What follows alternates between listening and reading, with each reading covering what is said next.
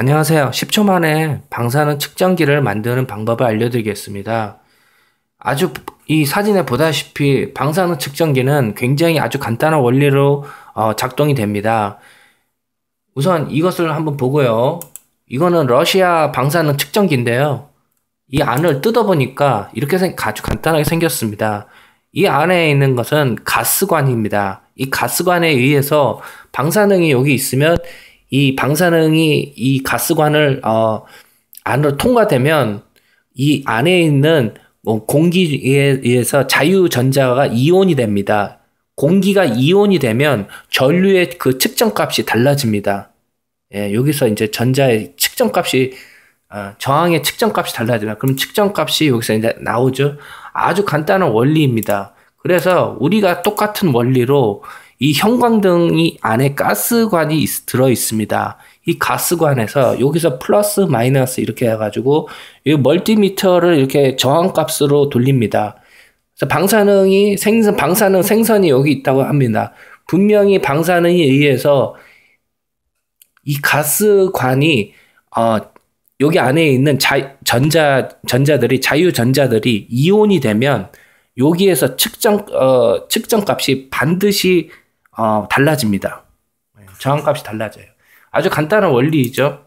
예, 여러분 그렇게 어, 쉽게 방사능을 어, 측정값을 이것 이것도 또 하나의 방사능 측정기인데요. 이것도 뭐 어, 가스관을 이용해서 예, 측정을 하는 겁니다. 저항값을요. 아주 뭐 다 똑같아요. 방사능 측정기 원리는요. 그래서 괜히 돈 주고 비싸게 살 필요 없이 예, 이렇게 집에서 형광등 3,000원짜리 이 멀티미터 이거 뭐 인터넷 주문하면 저가형 한 3,000원짜리 여러 번 어, 핵전쟁 일어났을 때 아주 손쉽게 음, 어, 흑수저들이 방사능 측정기를 만들 수 있는 방법이었습니다.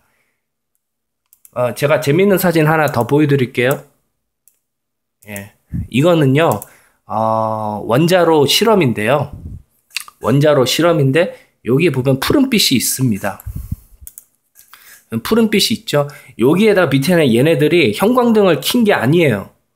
예, 여기 안에 이게 전부 다 물이 물이 차 있는데 아 물이 차 있는데 이제 방사능이 아 빛의 속도로 물을 이온을 시키니까 물에서 물이 이온이 되니까 이 물에서 이게 어, 빛, 빛 이 내는 거예요. 아, 신기하죠? 그러니까 엄청난 센 아주 강한 방사능이라고 말할 수가 있습니다. 이거는 그러니까 물도 왜냐면 물 안에 전자가 들어 있거나 자유전자 물도 똑같아.